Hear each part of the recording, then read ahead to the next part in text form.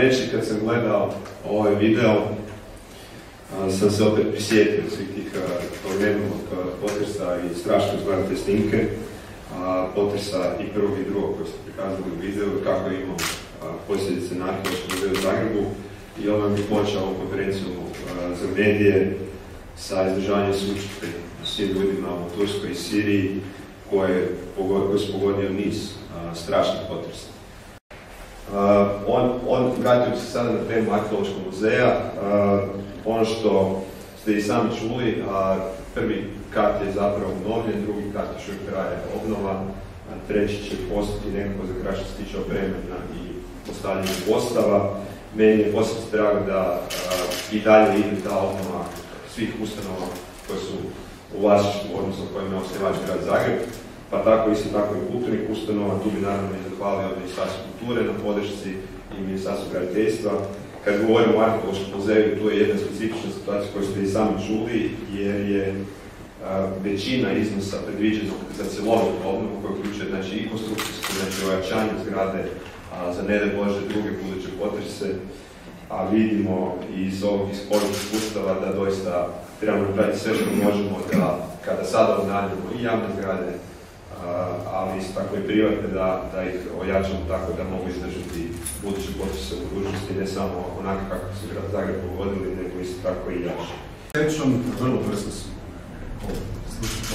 muzeja napravili jednu temeljitu evidenciju, uspjeli smo vidjeti da je dakle, onaj najugroženiji zaista teška oštećenja pretrpilo otprilike stotinja predmeta. Još nekoliko stotina oštećeno, ali ne u toj kategoriji velikih oštećenja.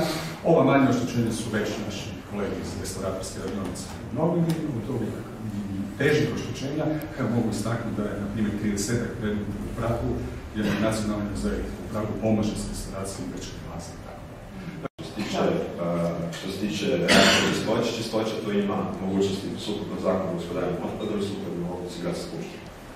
Znači, jedni i drugi su provjeramo da li se poštuju pravo. Znači, prvenstveno ono što je na glavni fokus je kad govorimo o komentarima, bilo kako odlaganje pomoznog otpada, pored zelenih otoka. Znači, znaju svi građani da mogu dva puta godišnje besplatno odložiti, naručiti odvoz pomoznog otpada, da mogu bilo kada besplatno odvesti količini pomoznog otpada u bilo koje reciklažno dvorište, Međutim, kada se vozni otpad ostavlja pored kontejnera, pored zelenog otoka javnih površća, to je čisto komunalni prekršaj. I on se kažnjava kako za fizičke korisnike, za građane, tako i za firme, odnosno poslove koje. Biće opisan čini se ovih dana sutra.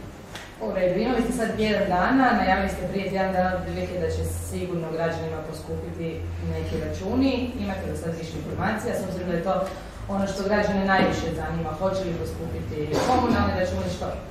Pa mislim, da na vrijeme ćemo izaći sa, kada napravimo sve analize i zajedno i kad prođemo i kad donesemo političku odluku zajedno sa policijskim partnerima, da ćemo to prezentirati javnosti.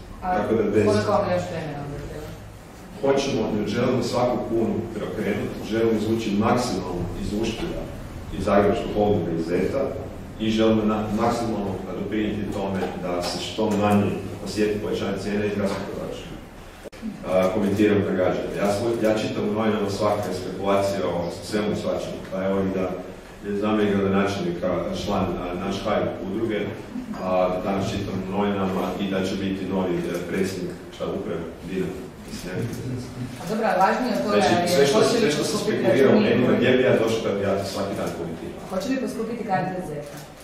Znači, sve, kad donesemo odluku, onda ćemo prezentirati Da li vi mislite da je odgovorno da ja se puštam balone i nagađam? Znači, kad donesemo odluku, prezentirat ćemo javnosti